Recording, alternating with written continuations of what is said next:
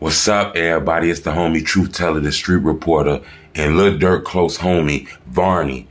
He then finally spoke out about this NBA young boy coming to Chicago to tour first stop. You know, he spoke on this. A lot of people been waiting on people close to Lil Durk to speak on this. Was this a rumor?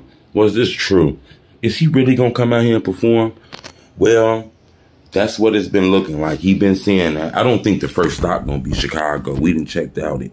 Uh, it looks like his first stop gonna be in Philly, but Chicago is on that map of tour dates.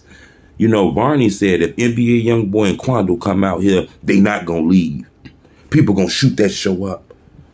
I'm not gonna lie, I can believe that to a certain extent. You gotta understand, people love King Von, whether it's his homies or even the fans, or even just people who learned about the drill culture. And to be honest, there's some people out here crazy that just like to see shit on spot news, you know.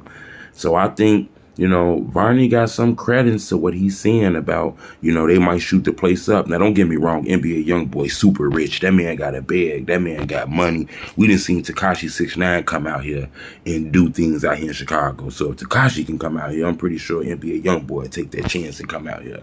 You know what I'm saying? But I'm not gonna lie.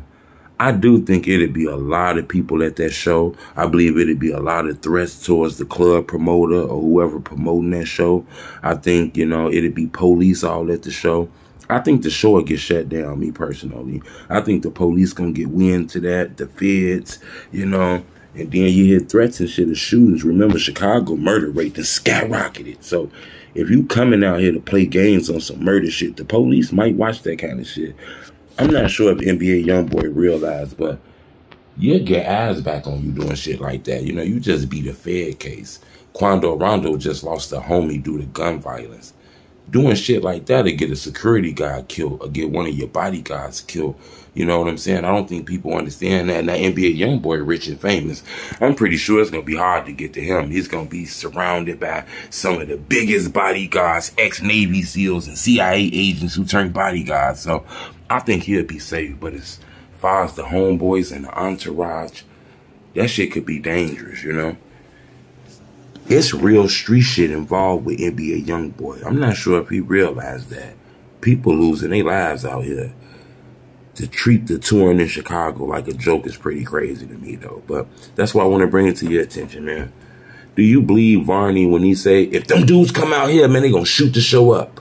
Or do you believe, man, that's cap NBA young boy can come out here, perform, and get that bag and ain't shit gonna happen to him?